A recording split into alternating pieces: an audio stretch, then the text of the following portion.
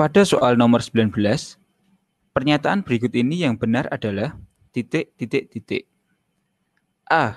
Perubahan kimia terhadap terjadi tidak menghasilkan zat baru. B. Pada perubahan fisis terjadi perubahan komposisi zat. C. Lilin meleleh merupakan salah satu perubahan kimia. Dan D.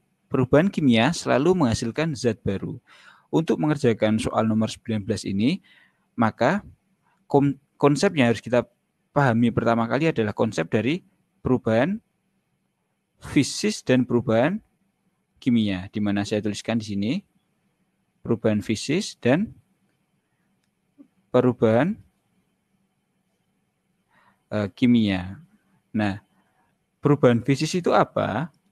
Perubahan fisis adalah uh, salah satu bentuk perubahan materi yang tidak membentuk zat baru. Jadi, pada perubahan fisis ini tidak terbentuk zat baru.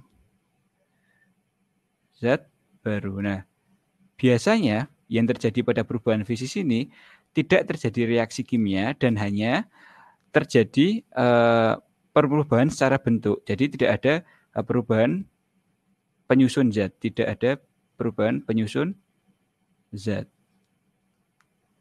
Nah, kemudian untuk perubahan kimia, perubahan kimia itu apa? Perubahan kimia adalah salah satu perubahan material di mana terjadi uh, atau terbentuk suatu zat baru. Jadi terbentuk terbentuk zat baru.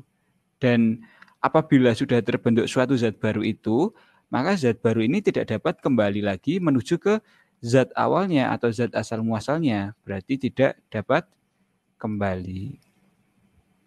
Dapat kembali. Nah, pada perubahan kimia biasanya disertai dengan reaksi kimia.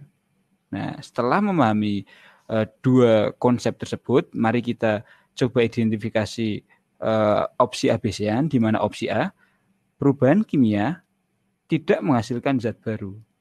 Tentunya opsi ini salah karena bertentangan dengan uh, arti dari perubahan kimia di mana perubahan yang selalu eh, membentuk suatu zat baru.